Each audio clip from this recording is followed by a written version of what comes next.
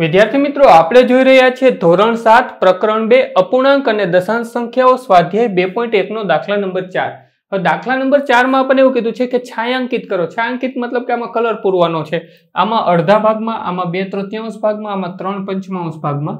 તો ચાલો વિડીયોની શરૂઆત કરીએ. અને એ પહેલાં, તમે જો જ્ઞાન વિશ્વ ઉપર નવા છો અથવા તો હજી સુધી જ્ઞાન વિશ્વને સબસ્ક્રાઇબ નથી કરી, નીચે આપેલા સબસ્ક્રાઇબ બટનને ક્લિક કરો, બાજુનું બે આઇકન પણ દબાવો. વીડિયો કેવો લાગ્યો?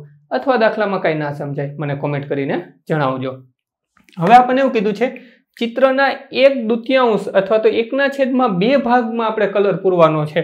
તો હવે ધારો કે આ ચિત્ર છે, એનું હું અહીંથી આમ ઊભું તો બે ભાગમાં નહીં કટ કરી શકું, પણ હું અહીંયાથી બે ભાગમાં કટ કરી શકું જો એક ભાગ આ થયો અને એક ભાગ આ થયો. તો મારે અડધા ભાગમાં કલર પૂરવાનો, પહેલાં તો મારે છેદ છે એટલા ભાગ કરવાના છે. મેં બે ભાગ, જો અહીંયાથી હું ઊભા કરે તો આ હાફ સર્કલ થાય. કરી શકાય, પણ આપણે એટલું બધું ડીપમાં જવું નથી. હવે કયો ભાગ કલર પૂરવો? તમારી ઈચ્છા થાય તો ઉપરનો પૂરી શકાય, ઈચ્છા થાય તો નીચેનો પૂરી શકાય. આપણને તો એવું કીધું, એકના છેદમાં બે પૂરવાનું છે. આપણે ઉપરનો પૂરી દઈએ. તો ઉપરના જે પણ રાઉન્ડ છે, એને આપણે ફિલઅપ કરી દઈએ. ત્યાર પછી આપણને એવું કીધું, ચિત્રના બે તૃતીયાંશ ભાગમાં કલર પૂરવાનો છે. હવે આ ચિત્રના આપણે એક સરખા ત્રણ ભાગ કરવાના છે. આપણે પેલા છેદ જ જોઈએ. છેદ કેટલા છે ત્રણ? તો હવે જો આને હું આ રીતે કરી શકો, આ એક ભાગ, આ બે ભાગ અને ત્રણ ભાગ, એક, બે ને ત્રણ, ઊભા ત્રણેય કરી શકું. કોઈ એમ કે મારે ઊભા ત્રણ નથી કરવા, તો તમે આડા ત્રણ ભાગ પણ આના થાય છે, જુઓ. તો તમે કોઈ પણ ત્રણ ભાગમાં આપણે કલર પૂરવો ત્રણમાંથી કેટલા ભાગમાં કીધું? ઉપરની સંખ્યા પ્રમાણે કીધું, બે ભાગમાં. તો આપણે બે ભાગમાં કલર પૂરી દઈએ. ચાલો આપણે ઊભામાં પૂરી દઈએ. આ પેલો ભાગ અને આ બીજો ભાગ. ત્યાર પછી ત્રીજા ચિત્રમાં આપણને એવું કીધું છે કે ત્રણના છેદમાં પાંચ એટલે નીચેની સંખ્યા જોઈએ તો આપણે પાંચ ભાગ કરવાના છે. તો આને આપણે ડેફિનેટલી આપણે ઊભા ભાગ જ કરવા પડશે. જુઓ. શા માટે? તો કે જો હું આડા કરીશ તો તો ત્રણ ભાગ થશે. અને મારે છેદમાં જેટલી સંખ્યા છે એટલા એના ભાગ છે. એટલી એવડો એ અપૂર્ણાંક છે.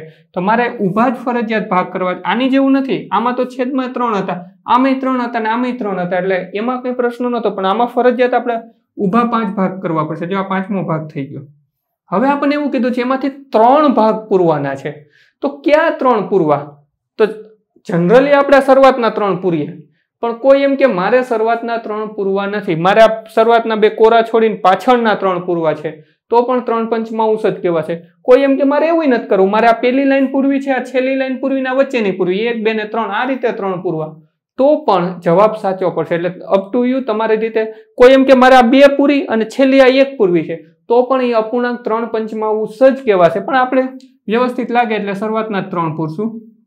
બાકી તમે તમારી રીતે પણ એને પૂરી શકો અથવા તો છાયાંકિત કરી શકો. વિડીયોને પોઝ કરી. ચોથા દાખલાના ઉત્તરો તમારી નોંધપોથીમાં ઉતારી લો. ત્યાર પછી વીડિયો ચાલુ રહેવા દેજો. ચોથા પછી પાંચમો દાખલો એક ફોટોની લિંક સ્વરૂપે ડિસ્પ્લે ઉપર જ આપી દઈશ. ટચ કરશો એટલે જોઈ શકાશે અને બધા જ દાખલાની લિંક નીચે પ્લેલિસ્ટની લિંક ડિસ્ક્રિપ્શનમાં આપી છે, તો ત્યાંથી પણ તમે જોઈ શકશો.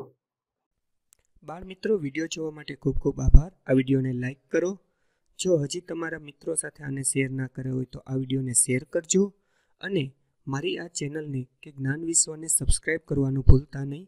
ચોક્કસથી આ ચેનલને તમે સબસ્ક્રાઈબ કરજો. થેન્ક્સ ફોર વોચિંગ ફરી મળશું બીજા વિડીયોમાં.